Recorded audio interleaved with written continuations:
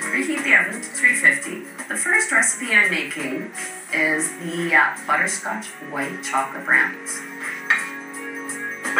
What I've got is a pot with just an inch of water in it, and I don't want it to boil. White chocolate needs a gentle heat to melt properly. I'm cutting up a third of a cup of unsalted butter. This is the beginning of the brownies. I'm just melting the butter to about halfway.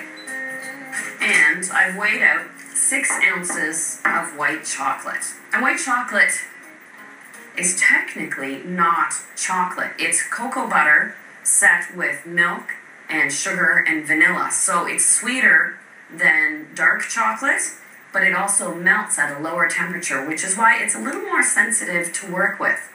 I'm melting the butter first because the butter melts more slowly than the white chocolate, if you can believe it. So the butter's half melted. So now I can add the white chocolate chips. So it's not just the heat of the bowl and the water underneath, but actually the warm butter now that's melting the chips. Here we go. So I'm actually looking more for the butter being melted because there's still a few lumps in the chocolate now, but now I'm going to let just the carryover heat of the chocolate itself finish melting it and let it cool for a little bit. So I'm just going to set that aside while I work on the brownie base. Being white chocolate brownies, it follows a different technique than typical brownies. These bake up like a brownie in terms of they get that nice, shiny, crispy layer on top, and they're rich and moist, dense and fudgy in the middle.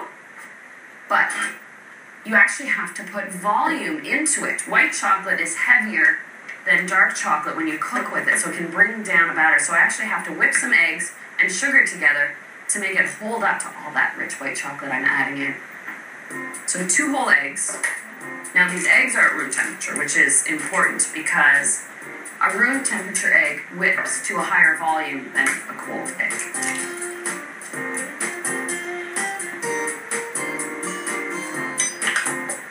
That's half a cup of brown sugar and a third of a cup of white sugar.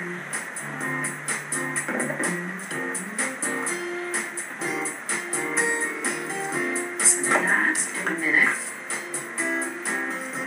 And I'll add a teaspoon of vanilla extract.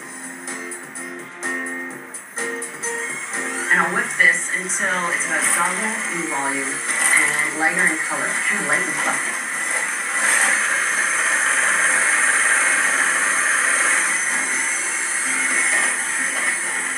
Alright, so that has doubled in volume. I'll get my dry ingredients ready.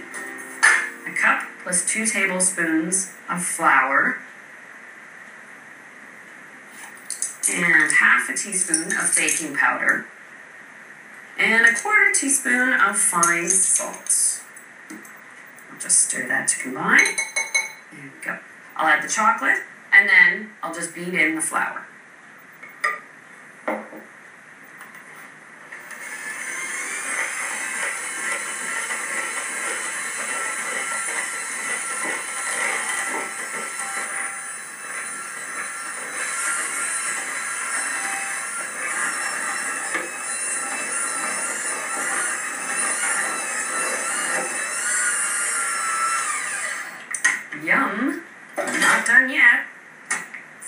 Quarters of a cup of toffee bits. When they bake into the brownie, they soften up and they set up not quite as firm, so you've got these little butterscotch droplet within the white chocolate brownies. And I'll pour this into my 9 by 13 pan. I greased it and lined it with parchment, that way it's easier to pull out and cut into bite sized fingers and just push it into the corners. So these take about 35 minutes in the 350 oven, and then I'll pull them out. I'll let them cool, and what I want to do is cut them into fingers and actually dip the ends of them in melted white chocolate. That way, they're more of a dressy treat to pack up and take to the golfers.